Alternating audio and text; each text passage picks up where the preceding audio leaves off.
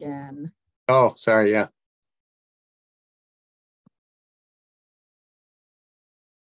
Okay, so you answered the question from Larry. Yeah, you'll just have to guess what I said, Heather. um, so I, this is weird. I can't see. Does your chat start over? Yeah, it really, it Okay. did. All right, I'll, Um, I'll, I'll read the ones um, that are next in line up until the point when, when you start to see new ones. And, and also a reminder, anyone is feel, feel free to raise your hand if you, if you'd rather just um, vocalize your question. Um, Kendra asks, um, how many applications did you receive for your current inaugural funded projects, the mosaics and the murals? And how many were ultimately funded? Okay, yeah, so the, um, the murals program, we received, um, seventeen submissions. And we're still figuring, in the process of figuring out how many will be awarded. At a minimum, it's two for each of the programs. We're looking to create at least two, um, projects through each, through murals and through mosaics. We're still figuring that out because we're still, um, we haven't received all, that, we haven't finished reviewing the final mural proposals. On the mosaic side, we received 13 submissions and five, uh, there were five finalists that were selected to develop full proposals. And there will be one artist who is selected from those five to do two or more or more mosaic projects. Um, next question, do you have to live in the city to submit a proposal? And then a similar question after that, do all artists taking part in this project have to be city residents? I can, I can start that one off. Um, there's not a, like an absolute black and white answer to that question, but I think it's important to sort of return to the spirit of this program and, and what our goals are around investing in art in the city and creating more art in the city, but also in investing in artists that, that live in the city in particular underrepresented groups. Um, to that's that's one of the things that we we want to try and invest in more through this program. Um, that being said we recognize that there are some arts organizations uh, or even artists that don't live in the city but do the majority of their work in the city or maybe they don't live in the city but their office is in the city um, so there's you know there's some leeway there or uh, you know at least things for us to consider um, but we do have a, a, a system where you know additional weighting of scores is given to those that that have a, a strong city presence. Um, Heather, do you want to add to that at all? No, I think you covered it. That's great. Okay. Um, do you need MWB certification to apply as an individual for MWB funding?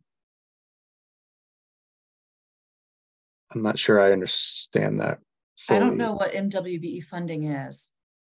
Uh, I, I'm sorry, I, I added the word funding in and I did not intend to. Um, Okay. so I, I meant the, the certification. So, um, in other words, I mentioned, I heard you mention earlier, uh, that you had to have that not-for-profit status in order to request that, uh, certification. You, But my question is, are you, can we, we can still submit as individuals without that certification, correct? you do not need to have any licensing or certification to apply for Arts Bloom funding.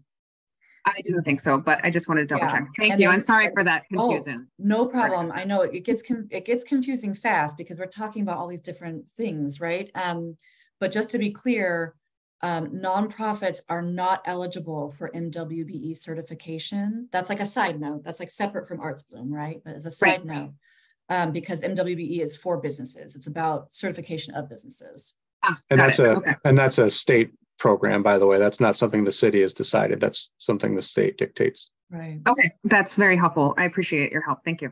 No Sure. problem. And and Heather, just a follow up question to that because I'm not as familiar as you are, but um, the the MWB certification process, if I if I recall, is a process that takes a certain amount of time that would not necessarily be completed in time for the deadline for Arts Bloom, right?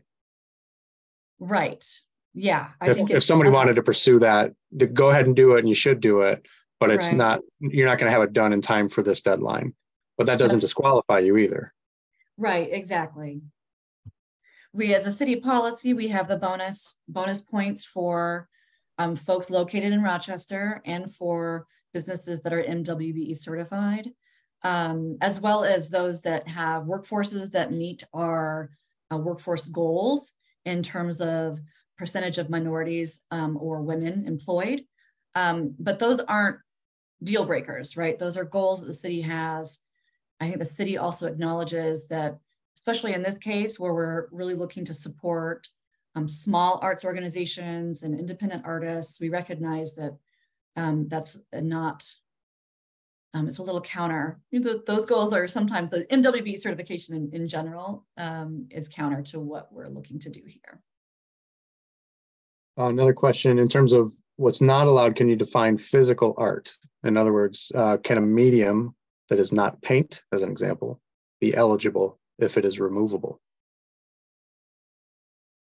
Right. So I think that the primary, when we're talking about um, temporary physical art, one of our key kind of um, descriptors is um, any any physical art that's going to need a permanent attachment or foundation is not eligible, right? So if the thing that you're proposing needs to be attached to the ground in some way or needs some structural support, that's an indicator that it's not eligible for this funding. But if the person who wrote that question wants to get more specific with us, um, please feel free.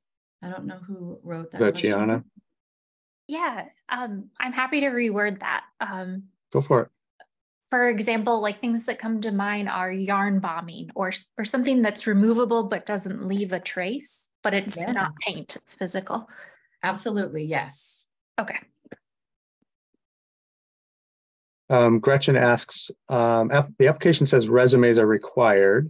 Is it resumes of arts organization applying only, or do you need resumes of every artist? Um, and working on this project and sounds like she might have a large group of maybe 15 or more folks that would be working on this project. So we would we be requiring resumes for all those folks or just more about the organization?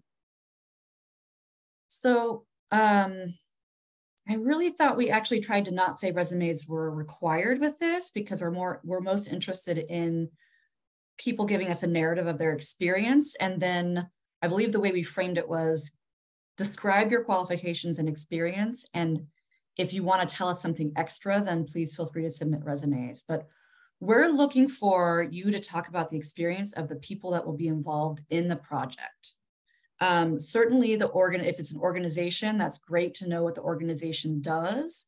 But I think we're most interested in the people, whether it be in the organization or the artists outside the organization and their experience and what they're bringing to the table. So the folks that we would be working with in the funding um, is, is really who we're interested in learning most about.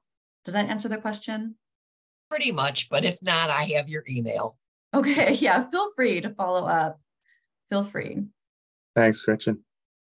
Um, so Kathleen asks to piggyback on Tara's question, could there be a free concert with a donation jar?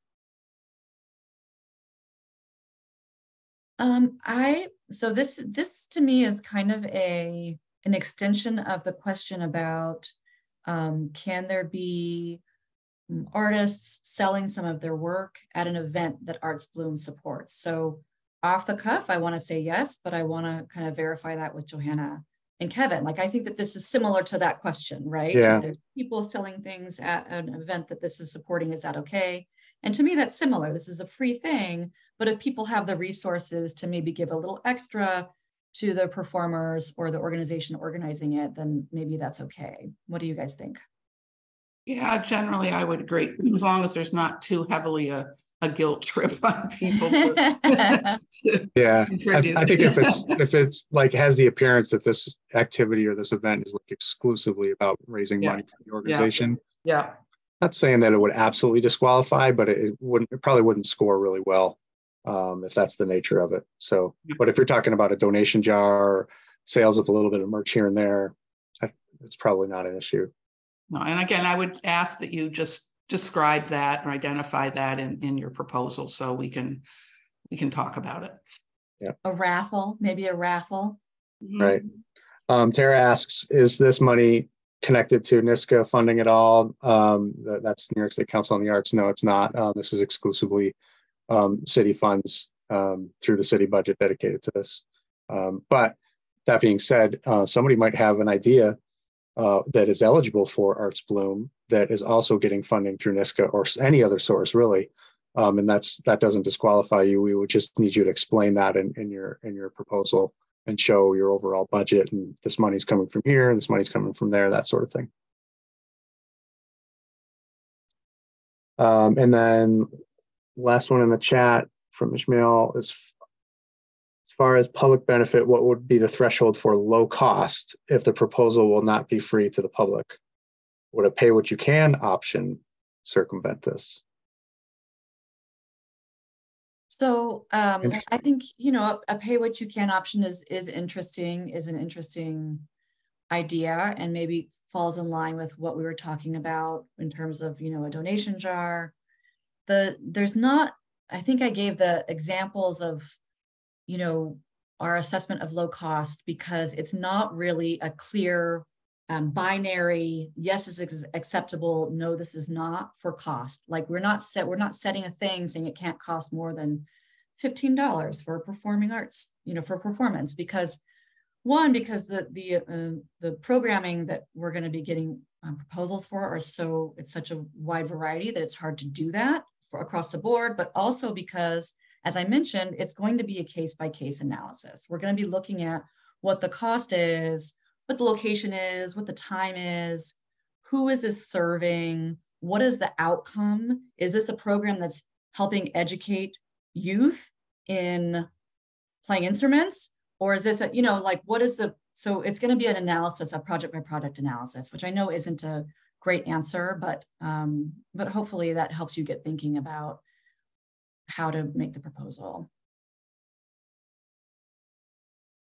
Um, Kathleen, sorry, go ahead. Oh, I was going to say, I think we have time for maybe just the two questions, the two more questions that are in the chat, and yeah. then we should wrap up. Okay.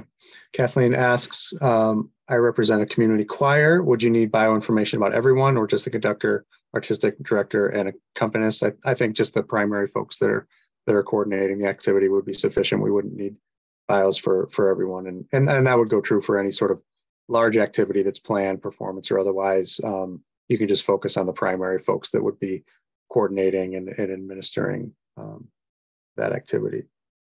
Um, do you require slash favor projects that pay artists for their participation?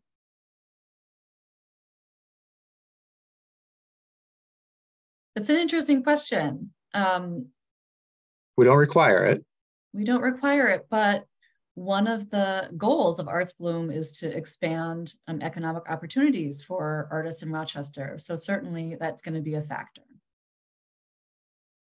And then the, the last question that we have, and then I think we need to wrap up is, um, does the city anticipate, sorry, um, does the city anticipate considering proposals below the funding level requested? That is to say, if an applicant requests 20,000, it is it evaluated solely on that amount, or would the city consider funding that project at the five or ten thousand dollar level? So that's a really good question, and I think um, we want to, as much as possible, look at and award folks for what they have been, what they're requesting. But we acknowledge that this is an interesting.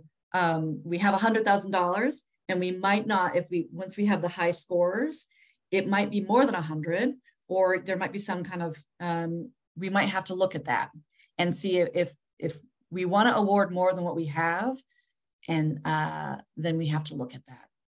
This is a complicated we basically only like complicated projects here at city planning. Um, i want to do i want to circle back to the uh, is this you know, because a couple folks said, let's always pay artists and it should be a requirement, which I, I think that that's, uh, of course, a goal for us. There is some scenario I can see in which someone is saying that they want to uh, create exposure for artists. I don't know. There's just, there's other, uh, no, blue, blue is like, no, I will, never mind. I retract that statement. It's a goal for Arts Bloom. Let's not, let's not um, go any further with that. Yeah, but I, I think you can see in the in the comments there and the support for that. Uh, so if you are considering submitting an, a, a proposal with artists and you're not necessarily intending to pay for them, just um, you know you could you could see the strong support behind that, and, and we value that as well. So I, I think you can imagine that it would uh, be a stronger proposal if you're showing how you're going to be paying the artists that are that are involved. Okay. Thank you, everyone. Um, we're going to be, again, the next thing is May 15th is the deadline for additional questions. We're going to be creating the document with all questions from this meeting and received otherwise, and making a Q&A document that will circulate and post online by the 19th. Good luck to you all. I want to say we're very, very excited about this and we've had such a good response from it. It just confirms that the city is doing the right thing in really creating this non-capital art program. So thank you. Yeah, thank thank you everybody for coming today, and, and a special thank you to Wanya for joining us. It's always great to see you. He's always helping out with our AC3 meetings. Um, so thanks for helping out with interpretation. And uh, yeah, submit any further questions to Heather. And uh, be sure to check out the, the website for more information, including the, the actual RFP itself, which should have all the details that you need. So great to see you all and have a great day.